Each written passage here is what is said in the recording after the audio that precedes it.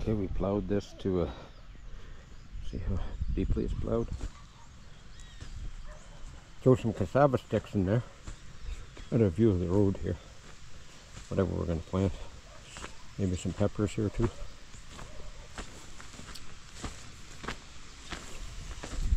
Making some hills for cassava. What kind of cassava are you gonna put here? You don't know what kind you got, no? Nice. And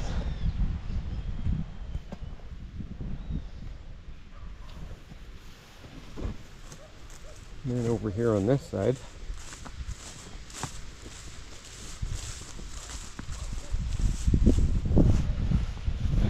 this side we'll probably put some peppers because then it only gets the morning sun. The sun here is so intense, the afternoon sun just kills everything. So this is plowed really deep too. Soft. And then put a couple of rows of peppers in here.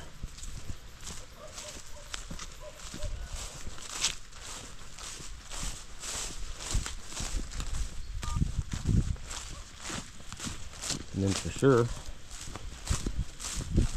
you can get five or six peppers over here in the nice shady part.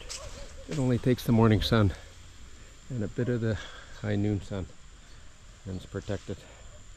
There's some nice hills here. Some peppers in.